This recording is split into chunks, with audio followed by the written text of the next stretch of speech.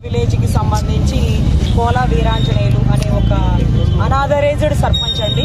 ఈ రోజు ఎవరైతే మా జనసేన అభ్యర్థి అయినటువంటి ఆ వ్యక్తిని ఆ తల్లిని బెదిరించి ఇళ్ళ మీదకెళ్ళి దాడి చేసి తల్లికి బెదిరించాడు. నీ బిడ్డ కప్పెట్టేస్తాను డెడ్ బాడీ కూడా దొరకదు. ఏం పిక్కుంటావు పిక్కోమని.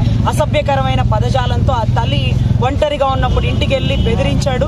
అదే రకంగా కొడుకుని మళ్ళీ వాళ్ళ ఇంటికి పిలిపించుకొని కొడుకుని కుళ్ళబొడిచి కొట్టకూడని చాట కొట్టి ఈ రోజుకి ఇంజక్షన్లు చేసుకునే దౌర్భాగ్య పరిస్థితి తీసుకెళ్ళి అర్ధరాత్రులు ఏదుంటే అది వేసుకుని కొట్టి కర్ర ఆ కర్రతో కాకుండా కత్తి దొరుకుతుందేమో అని వెతికి చంపే ప్రయత్నం చేశాడట ఆ నా చుట్టుపక్కల వాడు లైట్ ఎలుగుబడి రావడం వల్ల అతను తప్పించుకొని బయటకు వచ్చాడు.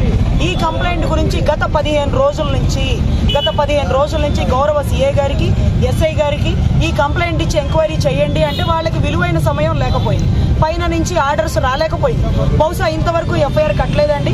మాకు అధ్యక్షుల వారి నుంచి ఆర్డర్ ఇతను ఒక జనసేన సభ్యుడే కాకుండా క్రియాశీల సభ్యత్వాలు చేస్తున్న వ్యక్తి. ఈ వ్యక్తిని కేవలం జనసేన జెండా కప్పుకున్న కారణం మాత్రమే.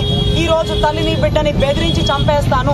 కొప్పుకొండ అనే విలేజ్ ఒక రంగస్థలం సినిమాని మైమరిపించే విధంగా ఈ రోజు ప్రజాస్వామ్యం నాశనం అయ్యే పరిస్థితుల్లో ఈ రోజు అధికార పక్షం పనిచేస్తుందని అధికార పక్షానికి కొమ్ము కాస్తూ ఈ రోజు గౌరవ పోలీస్ ఈపీ ఎవరైతే పోలీసు వారు కూడా గౌరవ పోలీసు వారు కూడా ఎటువంటి చర్యలు తీసుకోకపోవడం దౌర్భాగ్యకరం. సో గత పదిహేను రోజుల క్రితం వచ్చాను కట్టమన్నాను కట్టలేదు ఎఫ్ఐఆర్. మళ్ళీ ఈసారి కట్టే వరకు ఇక్కడే కూర్చుంటాను కట్టాక ఎఫ్ఐఆర్ తీసుకొని వెళ్తాను. ఆ తల్లికి ఆ బిడ్డకి రక్షణ కల్పించాలి. వీళ్ళు జనసేన సభ్యులనే కాదు రాష్ట్ర ప్రజలు అనేది గుర్తించండి అంటే గౌరవ సీఏ గారికి మేము చెప్పడం జరిగింది. అదే రకంగా ఇతను బ్రహ్మనాయుడికి సంబంధించిన అంటే బ్రహ్మనాయుడు గారు ఎమ్మెల్యే గారికి సంబంధించినటువంటి రైట్ హ్యాండ్ ఈ కోల వీరాంజనేయులు అన్న విషయం బహుశా తెలుస్తుంది.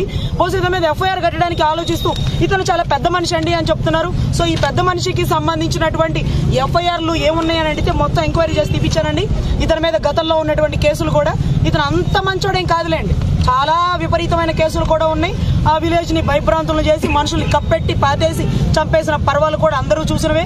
సో ఈ వ్యక్తి మీద ఇమీడియట్గా చర్య తీసుకొని three not seven attentive murder section కూడా పెట్టాలండి. ఎందుకంటే ఐదు ఉంటే చంపి పడేసేవాడేమో.